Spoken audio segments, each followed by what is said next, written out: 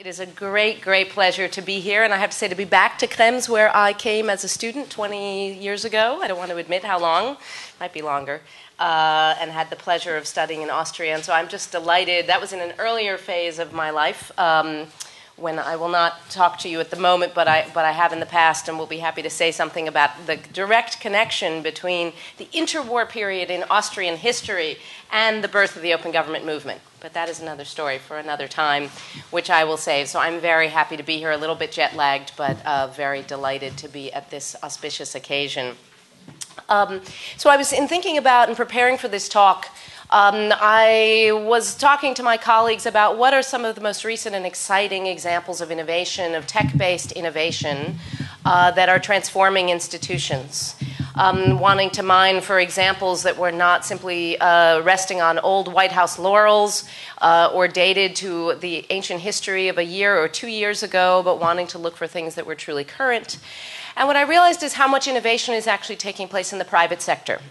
if you take a look, for example, in the way that big data is transforming industries like retail, we all know about the Zara story, where they argue the Inditex, the company, is able to deliver practically in real time products to stores that are driven by the data about what customers want and what customers are buying, such that they can gather that data on the shop floor, produce new lines, and have it back into stores in a matter of a couple of weeks, not in a couple of months.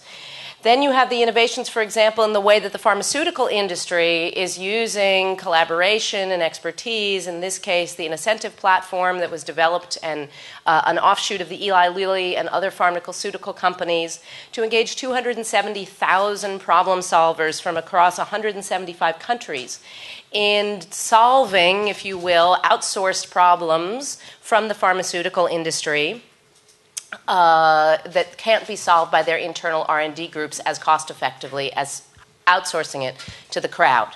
This notion of turning to expertise is, of course, leveraged not only by big pharma, but is leveraged by banks and investment companies, almost all of which turn to using expert networking platforms like a Gerson Lehrman, which boasts among its clients most of the world's largest uh, global investment banks uh, and private equity firms in helping to source expertise to help them in making investment decisions.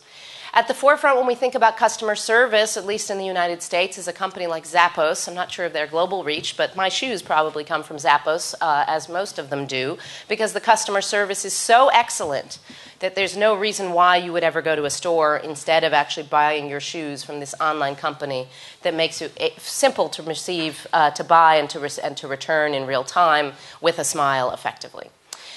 Technologies like uh, recommender systems and other kinds of social techniques are, of course, and have been widely in use by places like Amazon, which also use real time data tracking in order to customize the buying experience that we're all quite familiar with. And, of course, more recently, peer to peer companies in the peer economy space, like Airbnb, like Uber, like Hailo, are helping to disintermediate the middleman, in this case of the hotel, and allow you or me to actually rent out a room, a bed, uh, a house and turn our own um, lodgings into a hotel. Then, of course, there are companies like Facebook, which are not only using big data to target and algorithms and advanced math to target how they deliver advertising, but also really taking advantage of the trends we've seen in recent years of amateur content production, of what people do really, really well on networks to develop content together to build one of the world's most successful companies interestingly, almost none of that content, of course, created by Facebook, but all of it created by its users.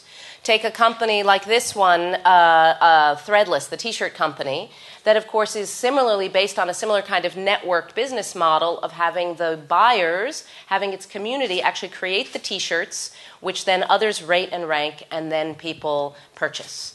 So we see this tech driven transformation of using data, of leveraging expertise, of really trying to use technology to deliver a much better customer service experience informed by social science. And by that I mean taking advantage of what we've learned about gaming, about games and prizes and challenges, about ways to nudge human behavior in specific directions to get people to buy things in new ways, of decentralizing the way that products are offered and created. To offer and to operate in a much more network native way that takes advantage of what the technology makes possible. Of course, it helps to have the bottom line that help these transformations, these innovations lead to real outcomes. In this case, selling more product. But the concern is, of course, that when we are interested in issues of public import and the public interest, that it becomes a little disconcerting that these innovations are not finding their way fast enough into governance. It's all well and good to talk about making clothes faster and better and driven by data, but ultimately a lot of that success, as we're learning, is on the backs of workers like these in Bangladesh who died in the fire that has led to the recent announcements by H&M and others to transform some of their business practices.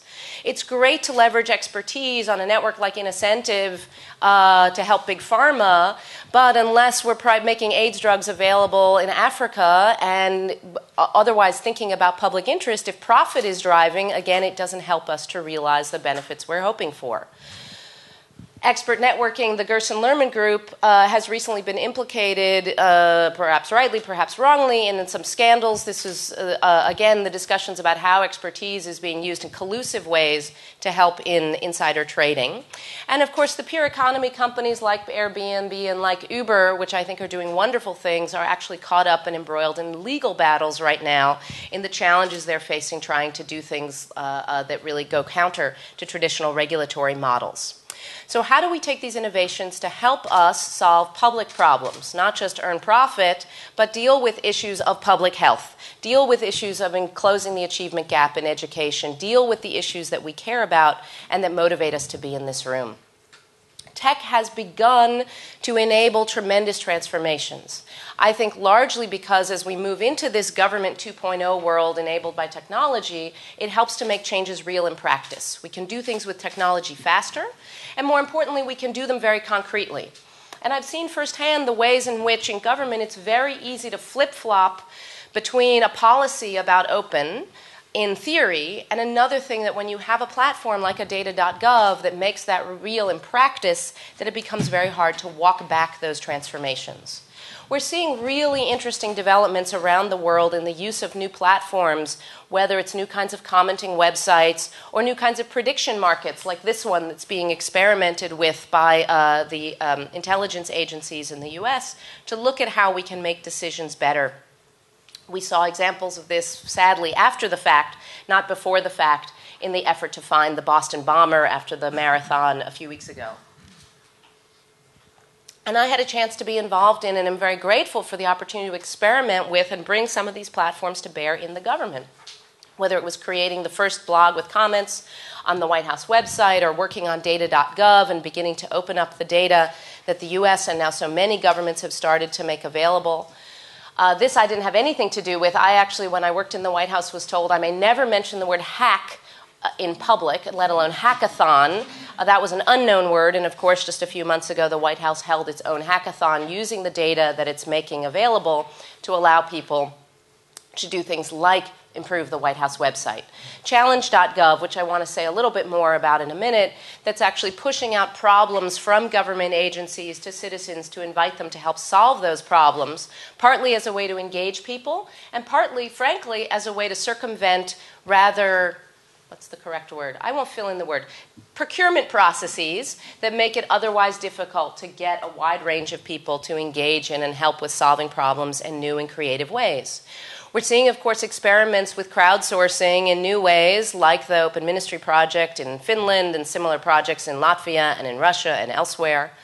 Uh, and I was, and I promised my colleague Johannes Pichler in Graz that I would mention the 11.1 project, um, of, uh, in which I am quoted or uh, on the advisory or something. I'm on some kind of a proposal. Um, uh, again, about thinking about new ways of engaging people to help with decision making.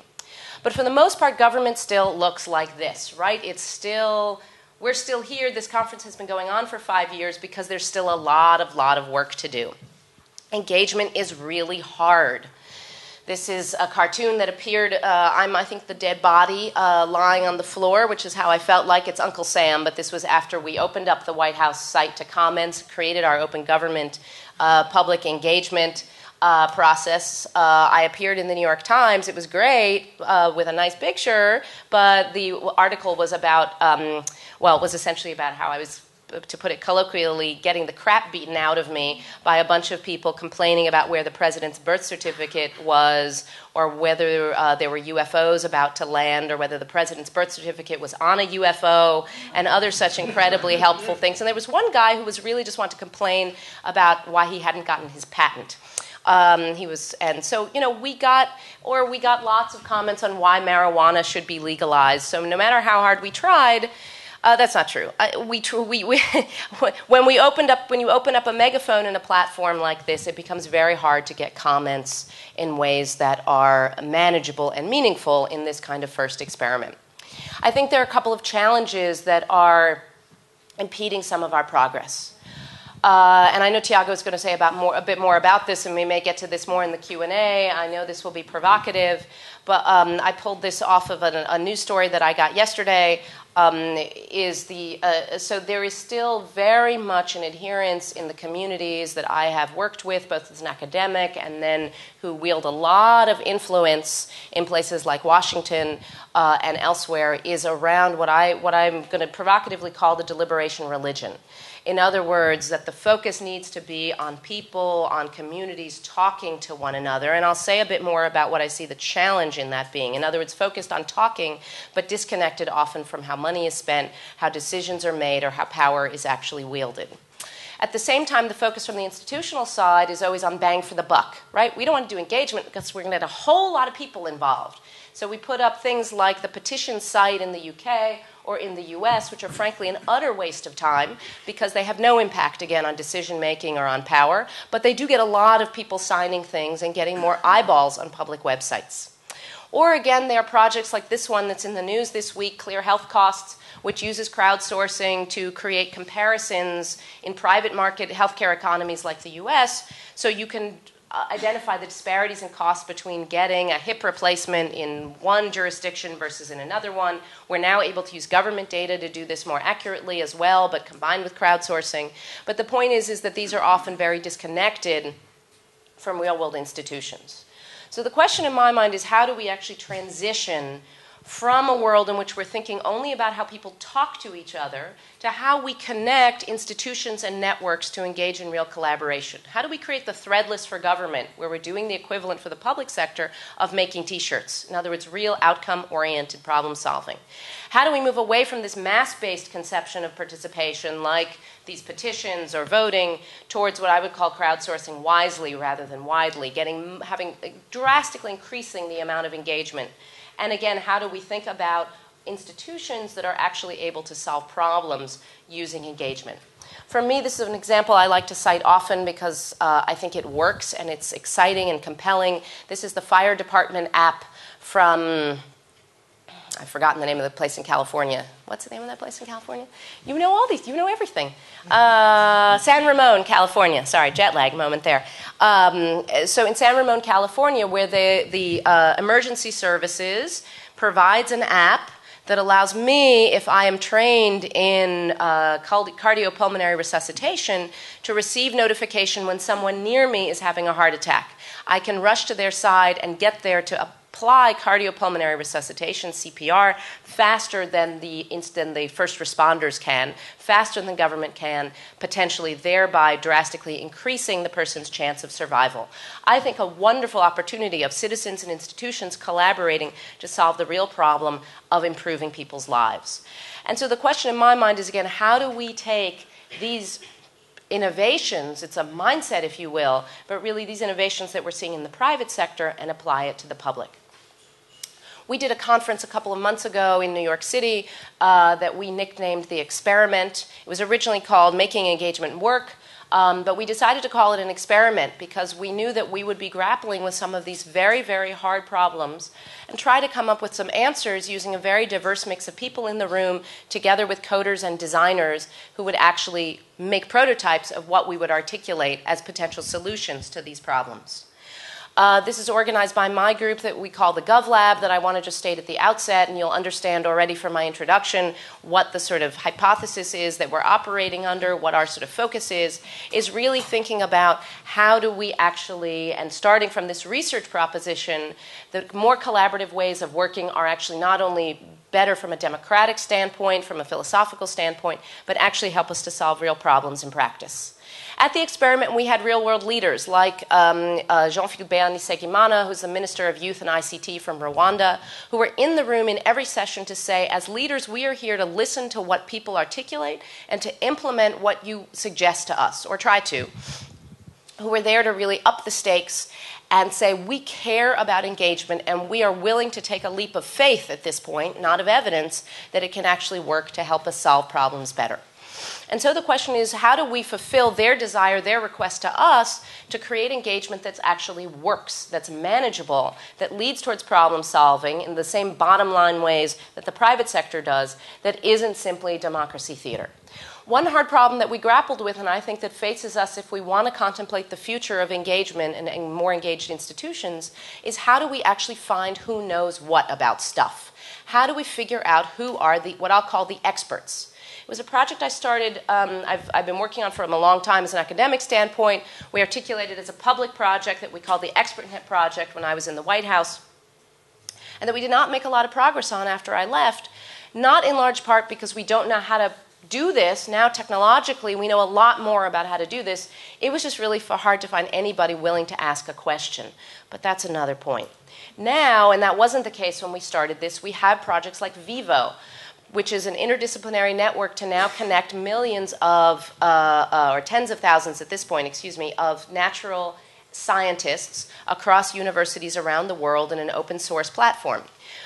SciENcv builds in vivo and others to build essentially these, think about it as Facebook for science. Think about it as LinkedIn for scientists or LinkedIn for experts. FDA profiles doing the same thing. These are all brand new projects that are just un- unrolling right now. Think about the fact that when I was in government, there was no such thing as a directory which told you who worked in a government department and what they did and what their background or expertise was. We're now just beginning to take advantage of these tools like the Harvard. Um, Catalyst profiling sites, which is again a kind of uh, open Facebook, in this case for the medical and biomedical sciences, to help people with expertise find each other. The second piece, though, is even when I know what people are doing, even when I know what people know, I then still have to figure out how to interact with them. So I think the second set of research questions really array around how do I actually ask people questions in ways that are going to create incentives for them to participate and to participate in a meaningful and useful way. We can learn a lot from sites like Innocentive about how people do that. We can learn a lot from sites like Stack Exchange, which again are running, have millions of people participating, in this case, mostly technical communities, every day and trying to answer and ask questions like how do I fold my socks in an efficient way? I picked this one because it was funny. Um, but actually, there are 21 answers about the appropriate algorithm for folding your socks with 990 ratings that help us. And we're talking in a matter of minutes to days that you get these answers to help convert, converge around more accurate, more fact based. Um, answers. There are projects like HealthTap, which now have doctors available to answer uh, free que- for free quest- short questions that you might have to a medical ailment. And now have they just uh, raised a huge round of funding, and again being used to help ask and answer questions. MIT is doing some interesting experimental work on the Haystack project, again around this question of interaction. University of Southern California's Play project is looking at uh, this issue of successful forms of interaction, this not around short questions and answers, but more around ideation and brainstorming and collaboration. Again, we have a long way to go, and I don't have answers today. We'll have to wait for CeDEM 2016, uh, maybe 2015 to be able to answer this core question what kind of questions lend themselves to what kind of platforms i was missing a word in here to get answers if I'm looking to brainstorm, if I'm looking to get a short answer, if I'm looking to write something together, if I'm looking to do the many kinds of information gathering activities I have to do in institutions that could benefit from engagement, we have a long way to go to mine what we're learning from the social sciences as well as from the private sector about how to do this. How do I actually create institutions from a legal and from a policy perspective that are ready and able to work in more open ways? So I think as we move towards thinking about how we reimagine how we govern, if we reimagine government or what we are, uh, uh, have called for a shorthand regovernance, we have to think about what are the new platforms that we need to create for solving complex problems together. Whoops, that was Oh, my nice picture. There was a picture here of bureaucracy. Maybe that's a, it's apropos that it somehow has deleted itself. Um, it's sort of the medium is the message, right? What I was going to say with this great archival picture was something to the effect of the platform of the 20th century was the bureaucracy that is organized in such a way to shield the decision maker from undue outside influence. It's organized to centralize information and to, because bureaucracies were often the best way and the best sources of information, and the best libraries of expert information on a topic. We now know that this is not the case, um, and that we have created institutions that exist to perpetuate themselves and to perpetuate programs that often do not work, rather than creating uh, what a friend of mine refers to instead of says instead of the Department of Education, why don't we have the Department for helping children to read good? The idea being instead, we have specific silos around specific programs, and we're not in an agile way thinking about what are the solutions that we can evolve quickly to helping us to do things. So let me close by saying I think there are a couple of important platforms that we need to focus on. My own work now uh, going forward is really, and it builds on work that I've done before around the peer to patent project, is thinking about how we build effective knowledge communities. How do we dig in on this question of how to ask and how to answer questions? Oh, there's my bureaucracy just sorry, human error, not machine error. Um, I think there's a second, though, set of questions or a kind of plat- set of platform issues around how do we actually make data useful. This is a picture of Sir Tim Berners Lee, the inventor of the web, who's spending most of his time now on the topic of what he calls social machines. I won't try to explain it except to say that he's thinking about now that we've unleashed all this data and are starting to make a lot of it open, especially government data, how do we actually, make that data useful and usable to people to actually make decisions quickly and to build apps and innovations on top of it? how do we actually think about what are the platforms for matching skills to needs? This is a project that one of my students presented this week called the Compost Community Compost Connect. On the left, he shows us Queens, these are all the uh, composting sites in Queens, uh, one on that side and one over here, and that's the entire region of Queens, most populous area of New York. Of course, there's no place to compost. This will seem very weird to people in Austria, um, but you actually have to get in a car and drive your stuff your compost to the composting site don't we're, we're very backward very very backward in the us in so many ways he has this great idea that i have a car and you have trash we could get together and I would drive your trash to the compost. Um, so I, I, put this up because after listening to 45 oral presentations last week, I would say 25 of them were about the same topic. I have solar panels and you want to know about solar panels. I have blank and you want to blank. I have a blanket and you need a blanket after a, a, a, hurricane or a storm. They all look like this matching skills to needs.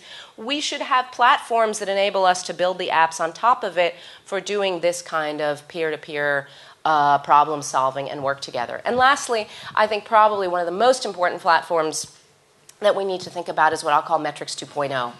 In other words, now the typical way that we do evaluation and assessment of what's working uh, is too slow for the pace of innovation that we'd like to see. It is not good enough to give an academic like me, uh, uh, you know, a check and a year to write a report about whether a project worked or didn't work. We need to think about ways in the way that you know, my shoes do or my clothes do uh, that talk to you in real time, that throw off data about how a project is actually working so that we can measure in real time. And we need to be able to take the kind of knowledge communities, the kind of expert networking that we see elsewhere to get larger numbers of people. Why isn't it that Vivo isn't being used to help to evaluate projects actually in real time? So I think when we start to move towards away from bureaucracy and towards platforms, when we start to move towards the use of data, collaboration, uh, um, uh, and driven also by insights in the social sciences towards a more agile mindset that actually allow us to focus on solving problems together, that we might be able to rethink how we govern and how our institutions function more effectively. Thank you.